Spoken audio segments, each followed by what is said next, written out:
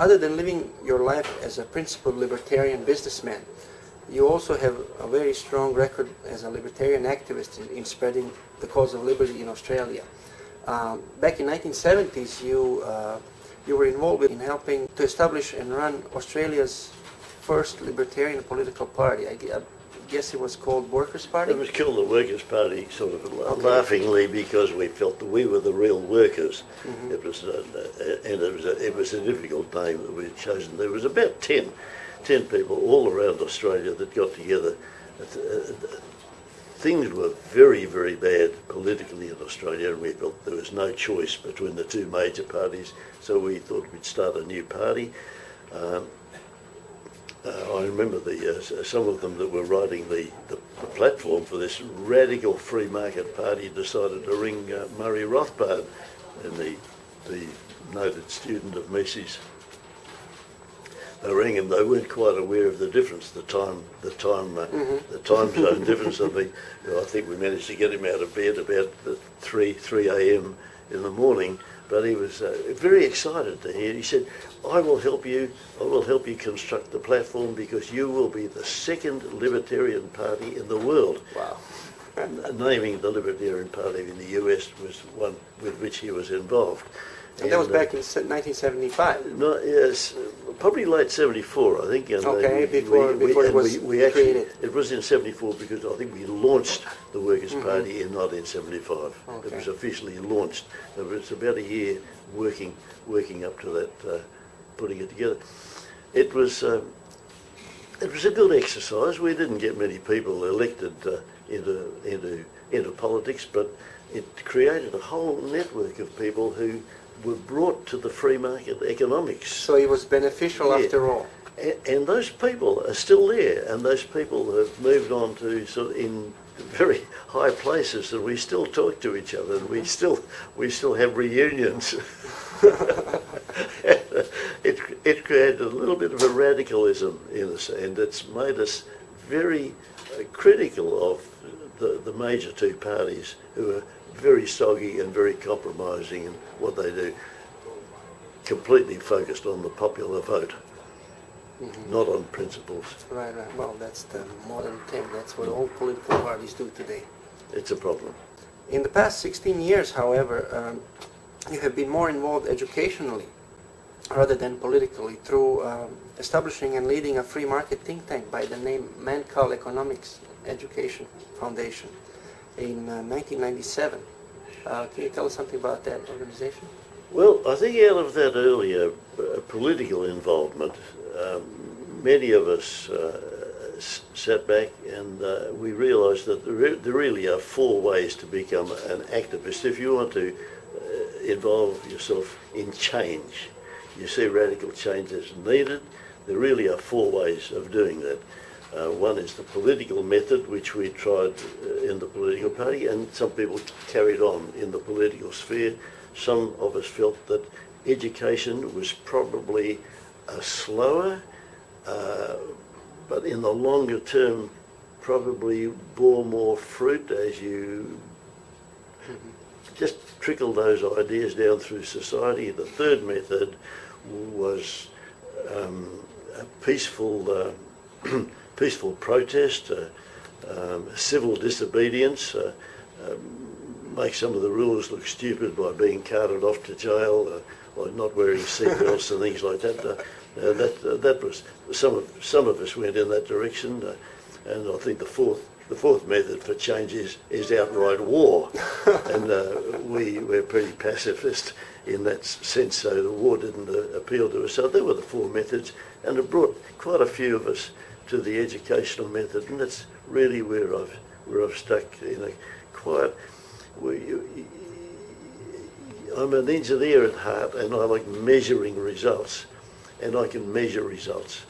I, I measure the results from my efforts in the educational thing by looking at all the incredible letters I've received from young people who, mm-hmm. four or five years later, they have written and said this happened in their life that they wouldn't have been perceptive enough to seize that opportunity without uh, some free market input, and that it tunes it tunes your mind to be ready for these opportunities when they come. Uh, so that's that's where I've settled, and that's uh, where we're having our major success at the at the moment. And since it's educational, it, say it may not come to people right instantaneously, but later, as you said, later in life, Yeah. it might come back. Oh, hold on, this is the the thing uh, that free market uh, marketeers are talking about. This is why it makes sense. It does, and uh, it puts them in a position of being able to know when perhaps the university economics lecturers are talking nonsense, which which is often the case because the whilst they must be might be very good lecturers, the sort of economics that are being taught to the young people is the sort of economics that have that brought us the global financial crisis, and have brought us have brought Europe down, and have brought the USA down. That's the sort of economics that's still being taught in the universities.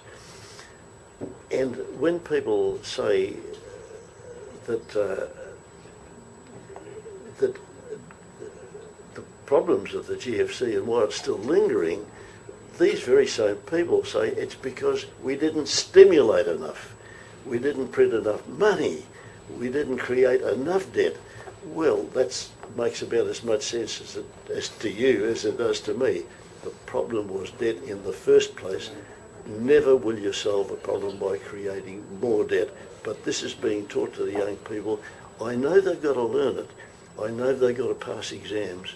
But all I can say, don't use that sort of economics to run your own business mm-hmm. or to run your own family or to run a country. The better form of economics is the free market economics, which engenders in it individual and personal responsibility for our actions without having anyone to bail us out. Uh, one of the ongoing project, projects of the Mannkal Economics Education Foundation is sponsoring Australian students uh, with internships in free market think tanks around the world. Um, in what ways have these student experiences helped advance the cause of liberty at home in Australia?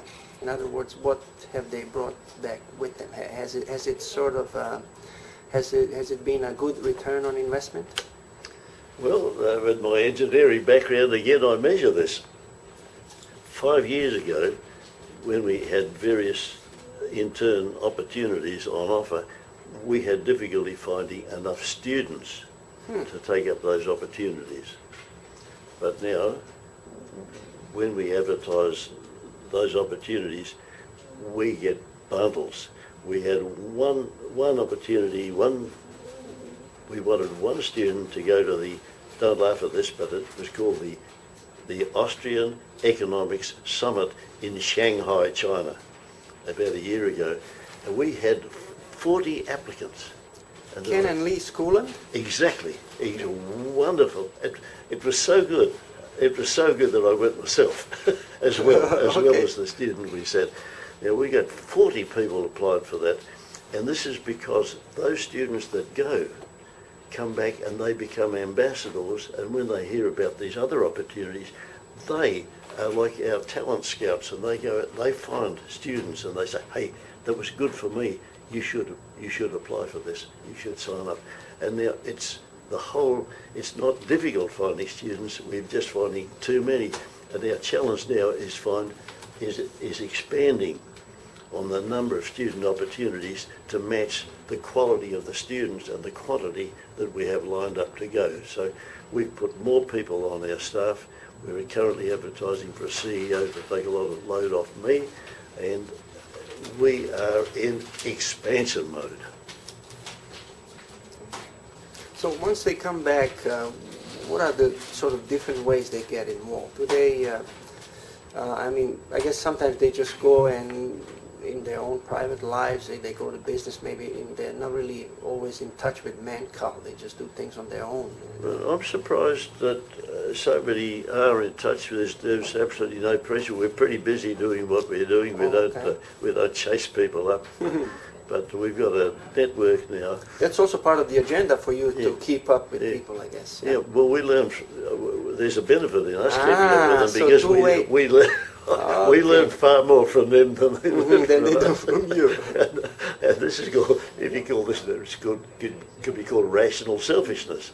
They, uh, I, I'm learning how they interact with each other, how they interact on social media, where a lot of people my age are really keeping right away from that space, but I find it fascinating, fascinating seeing inside the minds of the next generation of leaders, because that's we rely on them to solve some of the problems of today that we our generations created for them. So, but uh, um, pr- probably to summarise all that, one might say that our success has been in choosing the quality of students that come back after being able to receive all this wisdom and these these this collection of various ideas and bringing it back and incorporating it in their philosophies of life, our success in the quality of those people has now giving us benefit that they are our ambassadors and they are really recruiting the next year's uh, internships and, and, and so it goes. You know, the reason I'm really asking about these kinds of questions because you know there are other like back in Balkans we have organizations that do these kinds of things, trying to do these kinds of Yeah. things, and they really need some. We need some input from others, you know, and we you know they don't really have much resources to travel around to go to conferences and hear from others. So it's really uh, valuable for us to hear. We're involved in this learning process too, very much so, so that we are adding to the student experience. So that every year, if, uh, for instance, in Hong Kong, we, we, the students come up here and spend their six or eight weeks with the Lion Rock Institute, but we've recently added on another dimension because of our involvement and membership of the Asia Society up here, which has got a wonderful facility that, that expresses in, in, in, in very concrete terms the history of Hong Kong. Their add-on to that experience with the Lion Rock is spending some time at the Asia Society, learning about Hong Kong and the history of Hong Kong. And also when they go to the various Atlas Network uh, uh, events or the Cato Institute, we are now getting so good at finding what other events are on in that particular part of North America so we can take them from this conference to this seminar and, and add this experience. The major expense is the airfare to get them there and back. While they're there, let's add to their experience and give them value. So we must be always giving value to these students, otherwise the whole thing doesn't work. Right. Uh, Ron, you live a very busy life as, as a businessman. So how do you find time for all these things for the cause of liberty? Well, you, you're, uh, you, with some discipline, the people don't think I'm disciplined, but with some discipline, I try to split it three ways. A third of my time, and that's very important, is earning a living. Because without generating an income, you can't indulge your passions. The worst thing in the world I could, for me to do would be to indulge my passions on borrowed money. Or just hope that somebody else would donate money so that I could indulge my passions. I've got to generate the, the, the wealth, the income to do that. So that's a third of my time.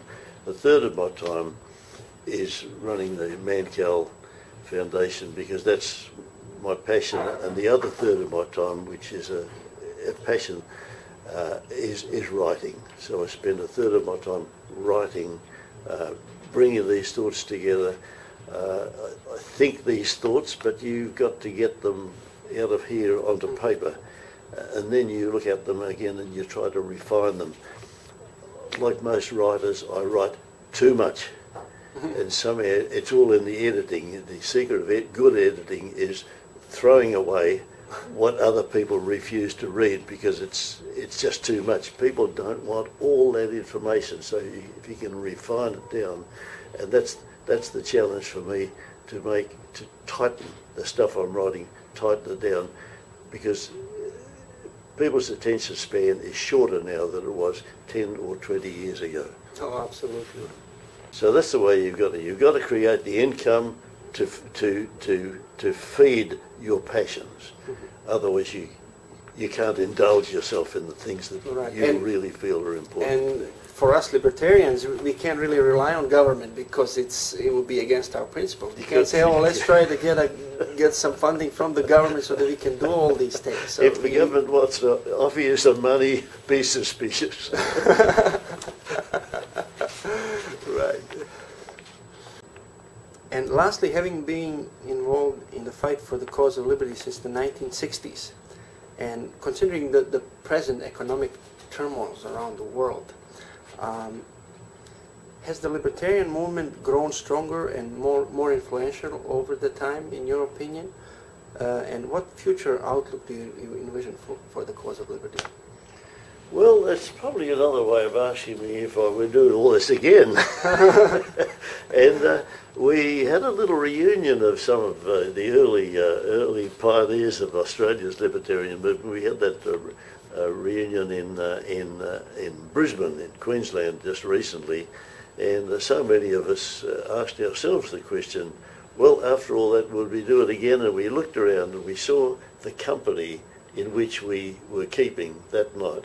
We looked around into the faces of the people that were gathered there, and we all agreed that yes, we'd do it all again because each of us have enriched the lives of each other. And when you look back, that's the measure of a success. Who have you travelled life's experience with? People you respect, people you've learned from, the people you want to treasure as friends for the rest of your life. The answer is yes, I'd Yes. do it again. Ron, thank you very much for your time. That's a pleasure, yeah. Anytime.